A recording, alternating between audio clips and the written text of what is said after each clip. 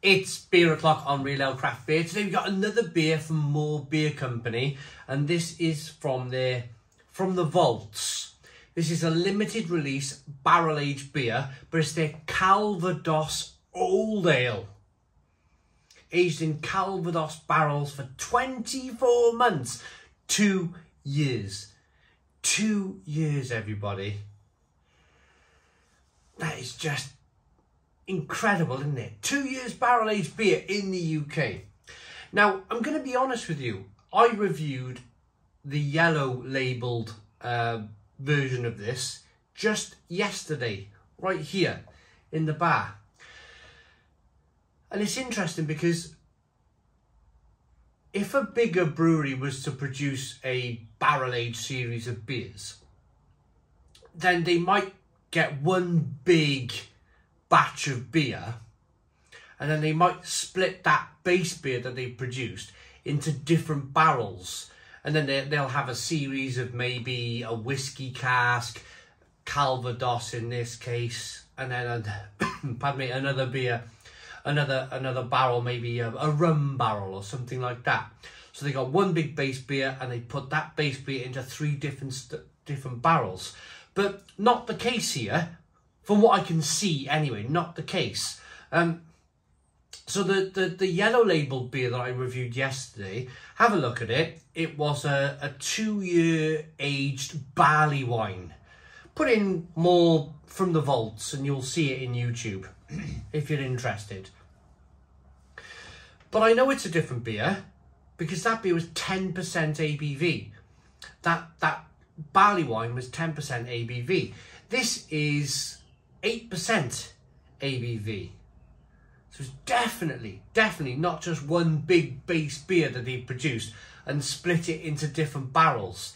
This is this is it, another beer that's been brewed and they've aged it in barrels and I find that really impressive. Excuse me, normally I've got the beer open by now into a glass and, and whatnot, but I find that really impressive from Moor Beer Company that they've they've really dug down into the detail of, of, of brewing. It's not lazy brewing. Barrel aging is not lazy. I shouldn't use that word lazy, but it's not.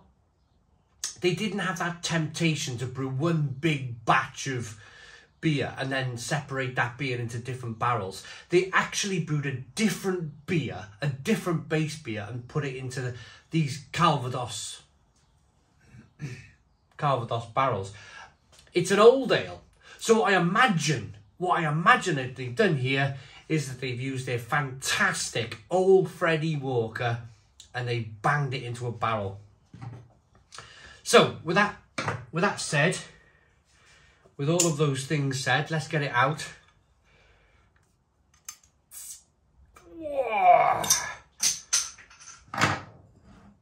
Into a glass and see what we get. Yeah, this is Freddy. Oh, oh, this is all Fred. Pretty sure. Excuse me if I'm wrong, but I believe that this is going to be a Calvados barrel aged old Freddy Walker. Because old Freddy Walker's 8% ABV. this could be very, very good. We got a one finger tan coloured head. It's a jet black beer in the glass, little bit, little amounts of slow moving carbonation rolling up the side of the glass. I'm going to get the aroma.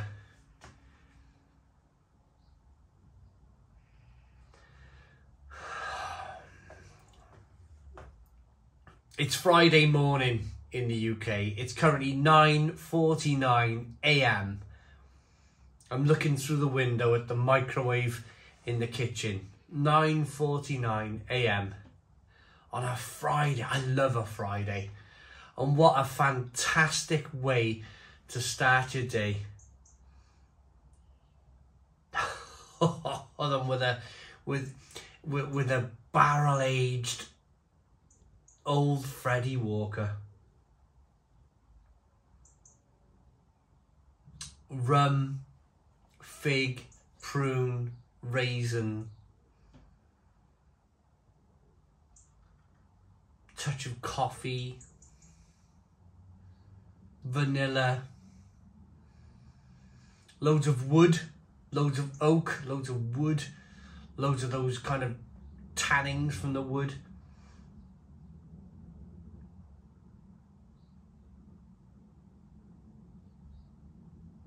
Now I'm going to ask you, because I'm not going to stand here and pretend I know everything in the world, because I don't know everything in the world. My comment to you, or my question to you, if you can comment, is Calvados.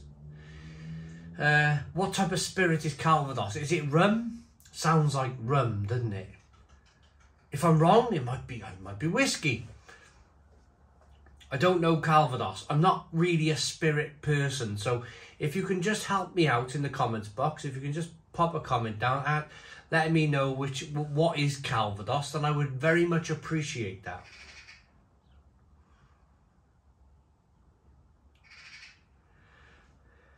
Oh, it's fab though.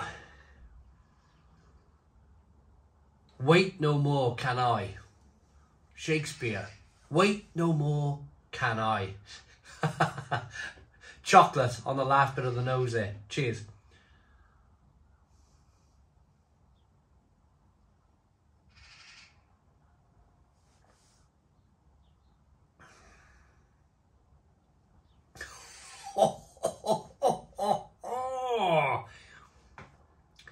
That is fantastic. Absolutely fantastic liquid. Oh. I love Fridays. Apps, I'm right in the mood. I'm right in the groove now. Right in the groove. Love Fridays.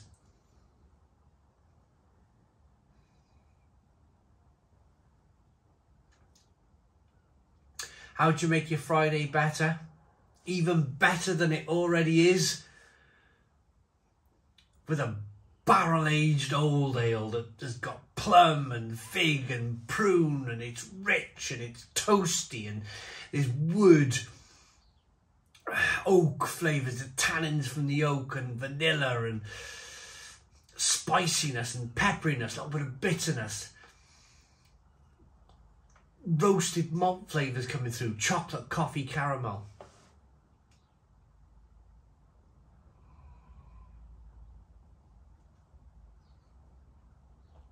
Oh, that is a dream. An absolute dream. I can hear the birds singing outside. The sun's starting to break through. It's a Friday. Magical, magical beer in my hand. I think you've got to like, for me personally, you've got to grab these small moments in life. You know when you feel really good? I'm feeling I'm feeling really good this morning. This morning. I still got this horrible chesty cough thing. I don't know what the hell. I've had it all winter. It's like won't go away. Mr. Magpie's coming to the garden now, so we got a magpie in the garden. But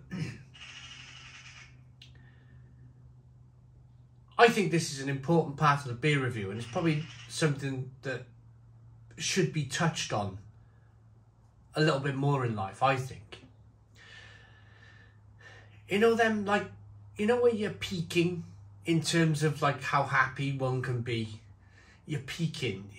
You know it's a Friday. You know it's the end of the working week. You've got a terrific beer in your hand. The sun's starting to shine through. I've got a really good feel good factor about where I am right now in this moment. In this moment. And I think you've got to grab those moments in life. You've got to grab, when you're feeling like this, when you're feeling great, you got to grab them and smile and enjoy and because you don't always feel like this do you? Let's be honest.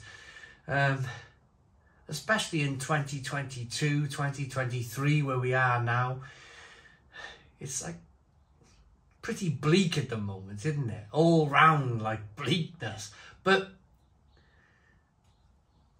Shards of light, shards of light, shards of happiness. Grab hold of it, smile, enjoy, enjoy life while you can. That is wonderful. That is absolutely wonderful. Wonderful, wonderful beer. It really is. I, I'll, I'll admit I wasn't a massive fan of the yellow labelled um, the, the the barley wine that, that from the vaults from Moor Beer Company. I wasn't really a fan of that.